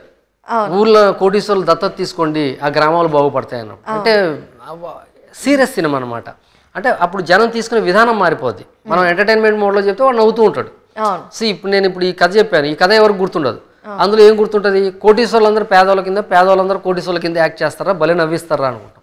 బట్ ఎందుకు చేస్తారు అదంతా అంటే ఆ అమ్మాయిని ప్రేమ కోసం జరుగుద్ది. ఆ అమ్మాయి క్యారెక్టరేషన్ ఏంటంటే కోటీశ్వర్లందరూ పేద పిల్లల్ని చదివించండి. మన దేశం బాగుపడిపోద్ది. అన్నది. సో నా నాకు అంత బాగా నచ్చిన ఎలిమెంట్ సో ఆ- ఎలిమెంట్ పైన ఏ కథ ఏ కామెడీ అయినా పండుద్దని నేను నమ్మా. అందుకు నరేష్ అయినా నరేష్ కూడా ఎక్స్ట్రాడినరీ అందులో మామూలుగా కామెడీ చేయలేదు. చాలా డామినేటింగ్ కామెడీ ఉంటుంది అందులో. అలా అది కూడా మంచి హిట్ అయింది. తర్వాత మీరు తీసుకున్న స్టార్స్ మంచు విష్ణుతో చేశారు. సో విష్ణు గారు అప్పటి వరకు ఆయన కామెడీ అంత బాగా పండిస్తారు అనే విషయం మన డి తర్వాత దేనికైనా డి చూశారు. ఎంటర్టైన్మెంట్ బాగా చేస్తారు అని. హీరోయిజం హీరోయిజంతో ఉన్న కామెడీ అది. ఇందులో కూడా హీరోయిజం ఉంటుంది. కాకపోతే ఏంటంటే ఇందులో నాకు నాకు మోహన్ బాబు గారిలో నచ్చే విషయం ఏంటంటే అవతల ఎంత తోపైనా ఉండేవండి ఈయన ఆ తోపుని కామెడీ చేస్తాడు ఆయన కామెడీ బలంతో ఆయన డైలాగ్ దీంతో ఆటోరియాని నవ్వించేసి అందుకే ఆయన ఎన్టీ రామారావు గారు నాగేశ్వరరావు గారు కృష్ణ గారు శోభనరావు గారు ఎవరి పక్కన చేసినా సరే దేవత సినిమా చూడండి. మనకి వన్ టూ త్రీ ఫోర్లో మోహన్ బాబు గారు ఉంటారు.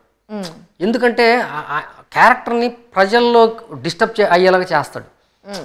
వాడు డిస్టర్బ్ ఎవరితను ఎవరితని ఇలా చేస్తున్నాడు బాగా డిస్టర్బ్ చేయొచ్చు బట్ బాగా డిస్టర్బ్ చేస్తున్నామా బ్యాడ్గా డిస్టర్బ్ చేస్తున్నామా అనేది ఇంపార్టెంట్. మోహన్ బాబు గారు వెరీ గుడ్గా డిస్టర్బ్ చేస్తాడు. చేసినప్పుడు నాకు గుర్తుండిపోతాడు. అరే మోహన్ బాబు గారు భలే చేస్తున్నారు అట్లాగా మోహన్ బాబు గారిలో విపరీతమైన కామెడీ టైమింగ్ ఉంటుంది. అది నాకు బాగా ఇష్టం. యాజ్ యూజువల్గా పిల్లలకి కంపల్సరీ రావాలి అది. వచ్చి ఉంటుంది. నేను వాళ్ళతో పని చేయలేదు కానీ హండ్రెడ్ పర్సెంట్ వస్తుంది కదా ఎక్కడికి పోద్ది? దీన్ని నమ్మే నేను. విష్ణు గారు కామెడీ అద్భుతంగా చేయగలరు. ఇందులో డౌట్ ఏం లేదు. ఎందుకు? బికాస్ ఆఫ్ మోహన్ బాబు గారి పిల్లలు కాబట్టి. దాన్ని నమ్మే నేను దేనికైనా రెడీ దిగా. సో అది కూడా మంచి హిట్ అయింది. మీరు మీ ట్రాక్ రికార్డ్ చూసుకుంటే ఆ, అల్లరి నరేష్ గారితో రిపిటేషన్స్ ఉన్నాయి. అలాగే మరి మన విష్ణు గారితో ఉంది. అండ్ అలాగే సందీప్ కిషన్ గారితో చేశారు. గల్లీ రౌడీ తెనాలి రామకృష్ణ. సో రెండు. అంటే ఈ హీరో మన క్యారెక్టర్కి బాగా జస్టిఫై చేస్తున్నాడు అంటే నెక్స్ట్ టైం మీరు సినిమా హీరోని దృష్టిలో పెట్టుకొని రాస్తారా? లేదంటే మీ కథకి ఆటోమేటిక్గా ఇతను సెట్ అయిపోతాడు అనే ఐడియా వస్తుందా? అంటే మైండ్ సెట్. ఇప్పుడు మనం ఎప్పుడైనా సరే మనం హీరోతో ట్రావెల్ అయినప్పుడు వన్ మంత్లో మనకు తెలిసిపోద్ది. ఈ హీరో మనకు మ్యాచ్ అవుతున్నాడు లేదా? లేదా ఈ డైరెక్టర్ మనకు మ్యాచ్ అవుతున్నాడు లేదా? హీరో కూడా అర్థమైపోద్ది. ఆ మైండ్స్ ట్రావెల్ అయినప్పుడే ట్రావెలింగ్ కుదురుద్ది. నాకు విష్ణుబాబు గారికి ఒక రెండు నెలలు మైండ్ ట్రావెలింగ్ కుదరలా. సినిమాల్లో కాదు బయట. బయట బయట నేను నేను నా నా నా పాయింట్ ఆఫ్ వ్యూలో నేను ఉండేవాడిని. వాళ్ళకి ఒక ఇది ఉండేది నేను ఆయన కాస్ట్యూమ్స్ ఆయన లుక్ ఒక పర్టికులర్ ఉంటాడు విష్ణుబాబు. వీటి మధ్య ఏదో ఒక చిన్న స్ట్రగుల్ ఉండేది మాకు. అది బ్రేక్ అయిపోయిన తర్వాత మేము.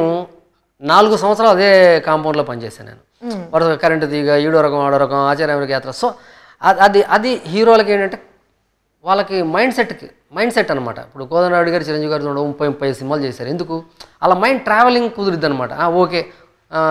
నాకు నాసిరెడ్డి గారు అయితే ఓకేరా హ్యాపీ మంచి కథ తెచ్చుకుంటాడు కామెడీ బాగా చేస్తాడు పాటలు బాగుంటాయి. ప్రజెంటేషన్ బాగుంటుంది. సెట్లో నాకు ఇబ్బంది లేదు. హ్యాపీ అలాగా happy going ఇష్టపడుద్ది. Not only hero and director total యూనిట్టే happy going ఇష్టపడుద్ది. సో అలాంటి అట్మాస్ఫియర్ ఉన్నప్పుడు హీరో ట్రావెలింగ్ డైరెక్టర్తో బాగున్నప్పుడు డైరెక్ట్గా హీరోతో ట్రావెలింగ్ బాగున్నప్పుడు రిపీట్ కామ్ వస్తుందన్నమాట. సందీప్ కిషన్ చాలా ఎనర్జెటిక్ హీరో. అతనితో వర్కింగ్ ఎక్స్పీరియన్స్? తనకు కూడా సబ్జెక్ట్స్ ఇవి చాలా వింటుంటాడు. అతను కూడా అతను చాలా కథలు వింటుంటాడు మనకు కథలు చెబుతుంటాడు నరేష్ లాగా. ఫుటేజ్ తన దగ్గర కూడా చాలా ఉంటుంది. English movies Tamil movies footage ఎక్కువ ఉంటుంది. ఆ ఫుటేజ్ ఎక్కువ ఉన్న హీరోలతో చాలా కష్టం పనిచేయడం. ఎందుకంటే ప్రధానికి వాళ్ళకి క్వశ్చన్స్ ఉంటాయి. ఫుటేజ్ ఉంటుంది కదా వాళ్ళ దగ్గర. ఆ సినిమాలో ఇది ఇలా ఉంది ఈ సినిమాలో ఇలా ఏంటంటుంటాం మనం మన వాళ్ళకంటే ఫుటేజ్ ఎక్కువైనా ఉండాలి అంతైనా ఉండాలి. తక్కువ ఉంటే మనం దొరికిపోతాం. మనం ఫుటేజ్ మన ఇంకోటి వాళ్ళకి సమాధానం కావాలి. ఎప్పుడు ఏ హీరోకైనా సరే కాన్ఫిడెన్స్ లెవెల్స్ మనం మనం ఎంత ధైర్యంగా ఉన్నామో మన మన ధైర్యం ఎప్పుడు ఉంటుంది? మన కథలో ప్రతి క్వశ్చన్కి మన దగ్గర ఆన్సర్ ఉన్నప్పుడు మనం ధైర్యంగా ఉంటాం. ఆ. ధైర్యంగా ఉన్నప్పుడు హీరోలు కాన్ఫిడెంట్గా ఉంటారు. ఓకే డైరెక్టర్ కాన్ఫిడెంట్గా ఉన్నాడు. డైరెక్టరే సినిమా. మనం కాన్ఫిడెంట్గా లేవనుకో భయపడిపోతాడు హీరో సో సందీప్ కూడా అంతే. సందీప్ కాదు ఎనీ హీరో అంతే. మనల్ని నమ్ముతాడు. నమ్మి మీతో ట్రావెల్ అయిపోతాడు. సో నా డైరెక్టర్ని ట్రావెల్ అయ్యే హీరో కాబట్టి నాకు ఎప్పుడు సందీప్తో వన్ పర్సెంట్ కూడా ప్రాబ్లం లేదు. వెరీ గుడ్ ట్రావెలింగ్ అనమాట నాకు సందీప్కి. మనకు కావాల్సింది హీరో కావాల్సింది జనానికి కావాల్సింది. ఒకటే అనుకోండి ఎక్కువ క్లాషెస్ రావు. నేను చెప్పింది జనానికి కావాలి. అతను చెప్పింది ఏమో జనానికి అవసరం లేదనుకోండి. అప్పుడు నాకు హీరోకి క్లాషెస్ స్టార్ట్ అవుతుంది నువ్వు చెప్పింది రాంగ్ జనానికి నచ్చదు అంట. లేదా హీరో నన్ను నమ్మలేదు అనుకోండి మీరు చెప్పేది రాంగ్ డైరెక్టర్ గారు ఇది జనానికి నచ్చదు అన్నాడు అనుకోండి అప్పుడు క్లాషెస్ మొదలైపోతాయి. ఇప్పుడు నేను తను సింక్ అయ్యామనుకోండి. ఆడియన్స్కి ఇది కావాలంటే ఎస్ ఇది కరెక్ట్. అని నాకు తనకు అనిపించింది అనుకోండి అప్పుడు అసలు ప్రాబ్లమే రాదనమాట. అలాగా సందీప్ సింక్ అయ్యాడు. వెరీ గుడ్ హీరో కన్నా Sandeep very good human being మంచి హ్యూమన్ బీయింగ్ సందీప్. ఫ్రెండ్షిప్కి ఒక రెస్పెక్ట్ ఎవరికి ఏం రెస్పెక్ట్ ఇవ్వాలన్న దాంట్లో చాలా మ్మ్. బాగుంటాడు. ఇప్పుడు మరి నెక్స్ట్ మీ మూవీ బుజ్జి ఇలా రా. బుజ్జి ఇలారా ఇది నేను డైరెక్టర్ని కాదు గరుడవేగ అంజి డైరెక్టర్ ఈ సినిమాకి కథ స్క్రీన్ ప్లే డైరెక్షన్ అంటే పక్కన తను ఫస్ట్ టైం డైరెక్షన్ కదా నేను ఒక కో డైరెక్టర్లో అనుకో అంజి నేను సినిమాకి మొత్తం ట్రావెల్గా ఉంటాను. సినిమా నేను అంటే నేను ఫీల్ అయ్యి నేను చెయ్యాలి అని ఈ సినిమా రాసుకున్నాను. కాబట్టి ఈ సినిమా ఎలా రావాలో అన్న దానిపైన నాకు నాలెడ్జ్ ఉంది. కాబట్టి తనని కన్విన్స్ చేసి నేను సెట్లో ఉండి ఈ సినిమా చేసాం తెనాలి రామకృష్ణ బిఏబిఎల్ గురించి చెప్పాలి. బుజ్జి ఇలా చెప్పాలంటే ఆ సినిమా గురించి చెప్పాలి. ఆ సినిమా తెనాలి రామకృష్ణ మా ఫ్రెండ్స్ సినిమా చేద్దామన్నారు. మా ఫ్రెండ్స్ సినిమా చేద్దామని చాలా రోజుల నుంచి అడుగుతున్నారు. సరే మొత్తానికి ఆ టైంలో కుదిరింది. సందీప్ చెప్పాను వెంటనే ఓకే అన్నారు వెంటనే సెటప్ అయిపోయింది. చాలా పెద్ద సినిమా. మా వాళ్ళు కూడా ఎక్కడ భయపడలేదు బాగా పెద్ద బడ్జెట్ పెట్టి చేశారు. అసలు ఆ టైంలో ఏంటి బడ్జెట్ ఏంటి ఈ సినిమా ఏంటి అన్నారు అందరూ. అవును. బట్ అమ్మే టైంకి అంతే బడ్జెట్ దానికన్నా మంచి క్రేజ్ వచ్చింది. సందీప్ కిషన్ని కమర్షియల్గా ఒక మెట్టు పైకి తీసుకెళ్ళిందని నేను అనుకుంటున్నా. నాకన్నా ఎక్కువ సందీప్ అనుకుంటాడు. ఆ సినిమా నాకు ఎంతో ఉపయోగపడిందని. అది అది అతని గొప్పతనం అనమాట సో ఆ సినిమా తీసిన తర్వాత సరే మా ఫ్రెండ్స్ మళ్ళీ వెంటనే సినిమా తీయాలంటున్నారు. వీళ్ళకి తెలియని విషయం ఏంటంటే హీరోలు మా మనకి ఆ ఎస్ఎన్ఎస్ క్రియేషన్స్ ఫోన్ చేస్తున్నాం రండి అనగానే వచ్చేసి వెంటనే కమాన్ ఎప్పుడు షూటింగ్ అంటారు? అలా ఉండదు. ఈ సినిమా అంటే ఒక one year one and half year process అది. ఒక ఖర్చు చేయాలి ఒక హీరో దగ్గరికి వెళ్ళాలి ఒక అడ్వాన్స్ ఇవ్వాలి ఇచ్చిన తర్వాత ఒక ఆరు నెలలు సంవత్సరం వెయిట్ చేయాలి. ఆయన డేట్లు వచ్చిన తర్వాత ఆ వరుసలో మనం అలా కాదురా వెంటనే సినిమా చేయాలి. మనకి ఈ ఫ్రెండ్షిప్ ఒరే ఒరే అనుకునే ఫ్రెండ్షిప్ ఉన్నప్పుడు ఎలా ఉంటుందంటే బలవంతం ఉంటుంది. చేస్తావా చేస్తావా అన్న బలవంతం ఉంటుంది. తర్వాత సంజీవ్ అని జగదీష్ అని వీళ్ళంతా బాగా బెస్ట్ ఫ్రెండ్స్ అనమాట వీళ్ళు రానకపోయినా సరే అంతకన్నా ఎక్కువ ప్రెజర్ ఇస్తుంటాడు సంజీవ్. సినిమా చేయాలి నగేష్ ఎలాగైనా. చూడది అంటాడు. ఎ- ఎలా చూస్తాం? ఎలా చేస్తాం? అని వీళ్ళ వీళ్ళ కోసం ఒక సినిమా చేయాలి ఏం చేయాలని ఆలోచిస్తున్న టైంలోనే మన టైం బాగో కరోనా వచ్చింది. కరెక్ట్గా వీళ్ళ సినిమా అనుకున్న సినిమా జరగల ఆగింది. సరే అప్పుడు ఏంటి ఏం చేయాలని ఆలోచిస్తూ అప్పుడు ధనరాజుని చూడటం. రెండు మూడు రోజులు వారం రోజులు అయిన తర్వాత సైకలాజికల్ థ్రిల్లర్ చేయాలనేది ఒకటి ఫిక్స్ అయిపోయి కథ రాస్తున్నాను అది నాకు ధనరాజులో కనిపించింది. ధనరాజు ఇతను చూడడానికి మనకు లుకింగ్ ఇతను కామెడీ కాదు. ఇతనిలో ఒక పెక్యులర్ ఒక క్యారెక్టరేషన్ ఉంది. అది నాకు నచ్చింది. ఈ సినిమా చూ మీ సినిమా చూస్తే అర్థమవుతుంది. సినిమా- ప్రజెంటేషనే ఇప్పటిదాకా చూడని ధనరాజుని మనం ఈ సినిమాలో చూస్తాం. ఓకే. ఇప్పటిదాకా నెవర్ అన్నమాట.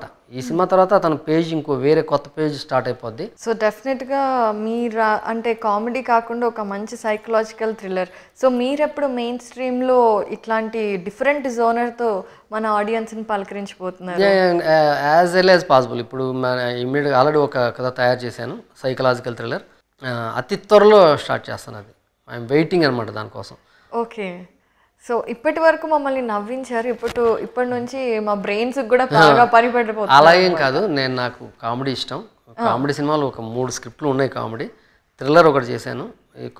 ఈ ఎంటర్టైన్మెంట్లో ఏది ముందు స్టార్ట్ అవుద్దో ఏది వెనక స్టార్ట్ అవుద్దో కానీ ఎంటర్టైన్మెంట్ చేసి మళ్ళీ వెంటనే ఒకటి సైకలాజికల్ థ్రిల్లర్ చేస్తాను. తప్పకుండా మేము కూడా ఎదురు చూస్తూ ఉంటాం మీ సైడ్ నుంచి. డిఫరెంట్ మూవీస్ అండ్ అలాగే ఇప్పుడున్న స్ట్రెస్లో కామెడీ ఈజ్ వెరీ ఇంపార్టెంట్. నవ్వుకోవడం అనేది చాలా మంది మర్చిపోతున్నారు వర్క్ బిజీలో లైఫ్ టెన్షన్స్లో లేదు మీకు తెలియని విషయం ఏంటంటే నవ్వుకోవడం ఎక్కువైపోయింది. లాట్ ఆఫ్ డయాస్ డయాస్ మారిపోయింది. సినిమా డయాస్ ఒకటి కాకుండా అదిరింది. మీడియాలో ఎక్కువ అయిపోయింది అది సి ఆడియన్స్ కావాల్సింది ఎంటర్టైన్మెంట్ మీరు థియేటర్కి వచ్చి నవ్వితేనే నవ్వు ఎందుకు అవుతుంది వాడిని ఎక్కడుంటే అక్కడికి నవ్వు వచ్చినప్పుడు నేను ఇక్కడే నవ్వుతాను. అలా నవ్వుతున్నాడు. నువ్వు థియేటర్కి రప్పించే బాధ్యత నీది. నువ్వు అంత బ్లాక్ బస్టర్ తీస్తే వాడు వచ్చి చూస్తాడు. కరెక్ట్ కరెక్ట్ సో నవ్వు తగ్గలేదు. నవ్వు తగ్గడం అన్నది జరగదు కూడా. అది అది ఎంటర్టైన్మెంట్ అన్నది మనకి ఈరోజు ఈ మన చేతుల్లోకి వచ్చింది అంతే తప్ప థియేటర్లోంచి ఎక్కడికి వెళ్ళలేదు. థియేటర్కి మనం ఎక్స్ట్రాడినరీ ఎంటర్టైన్మెంట్ తీస్తే వాళ్ళు వచ్చి మళ్ళీ చూస్తారు. సో డెఫినెట్గా అలాంటి స్టోరీతోటే మమ్మల్ని పలకరించండి. And thank you so much మీరు మా చిత్రసీమ కోసం ఇంత టైం ఇచ్చి మీ జర్నీ గురించి చెప్పారు. అండ్ అలాగే మీరు ఇప్పుడు వచ్చే డైరెక్టర్స్ కామెడీ డైరెక్టర్స్ అవ్వాలనుకునే వాళ్ళు కూడా చాలామంది ఉన్నారు. అదొక మెయిన్ స్ట్రీమ్ జోనర్గా వాళ్ళు ఎక్స్పెరిమెంట్స్ చేయడానికి కూడా రెడీగా ఉన్న యంగ్ డైరెక్టర్స్కి మీరు ఏం చెప్పాలనుకుంటున్నారు? ఎంటర్టైన్మెంట్ కథలో ఉండాలి. ఇది ఒక్కటే చెప్తాను నేను. ఇలాంటి కథలు ఇలాంటి దర్శకులు నిలబడిపోతారు. చాలా మంచి టైం చాలా విషయాలు చెప్పారు సినిమాల గురించి. Thank you so much for the time అండి. థ్యాంక్ యూ అండి. Thank you very much thank you చూశారు కదా ఈరోజు మన చిత్రసీమ ట్వంటీ ఫోర్ ఫ్రేమ్స్లో జి నాగేశ్వర్ రెడ్డి గారి అడ్వెంచరస్ ఫిల్మ్ జర్నీ గురించి. సో నెక్స్ట్ టైం మరొక సూపర్ పర్సనాలిటీతో మళ్ళీ మీ ముందుకు వచ్చేస్తాం. అంతవరకు సెలవు నమస్కారం.